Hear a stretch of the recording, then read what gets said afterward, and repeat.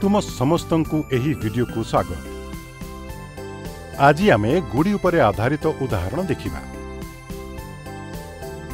ଆସ ଏବେ ଏକ ପ୍ରଶ୍ନ ଦେଖିବା। ଯଦି ଏ ବି ସି ଡି ଏକ ଗୁଡ଼ି ଅଟେ ତେବେ କ'ଣ ତୁମେ କ'ଣ ଏ ର ମୂଲ୍ୟ ନିର୍ଣ୍ଣୟ କରିପାରିବ କି?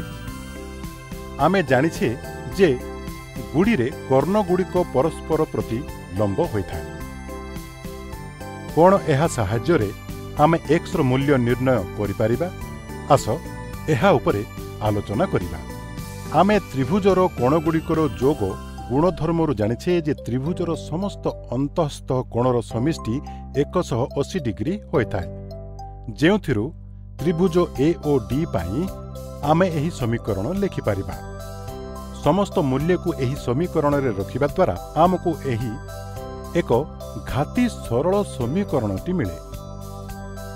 ଯାହାକୁ ସମାଧାନ କଲେ ଆମକୁ ଏକ୍ସର ମୂଲ୍ୟ କୋଡ଼ିଏ ଡିଗ୍ରୀ ମିଳିଥାଏ। ଏବେ ପ୍ରଶ୍ନ ଏହା ଯେ ଏକ୍ସର ବ୍ୟବହାର କରି କିପରି କୋଣ ଏର ମୂଲ୍ୟ ନିର୍ଣ୍ଣୟ କରିପାରିବା। ପୂର୍ବ ଭିଡିଓରେ ଆମେ ଶିଖିଥିଲେ ଯେ ଗୁଡ଼ିର ଅସମାନ କୋଣଗୁଡ଼ିକର ଶୀର୍ଷ ବିନ୍ଦୁରୁ ତିଆରି ହେଉଥିବା କର୍ଣ୍ଣ ଏହି କୋଣଗୁଡ଼ିକୁ ସମଦ୍ୱିଖଣ୍ଡ କରେ। ଅର୍ଥାତ୍ କୋଣ ଏ ଦୁଇ ଏକ୍ସ ସହ ସମାନ ହେବ। ଆମେ ଏକ୍ସର ମୂଲ୍ୟ କୋଡ଼ିଏ ଡିଗ୍ରୀ ନିର୍ଣ୍ଣୟ କରିଥିଲେ ଯାହାକୁ ଆମେ ଏହି ସମୀକରଣରେ ରଖି କୋଣ ଏର ମୂଲ୍ୟ ନିର୍ଣ୍ଣୟ କରିପାରିବା ଯାହା ଚାଳିଶ ଡିଗ୍ରୀ ହେବ। ଆଜି ଆମେ ଗୁଡ଼ିର ବିଶେଷତା ବିଷୟରେ ଜାଣିଲେ।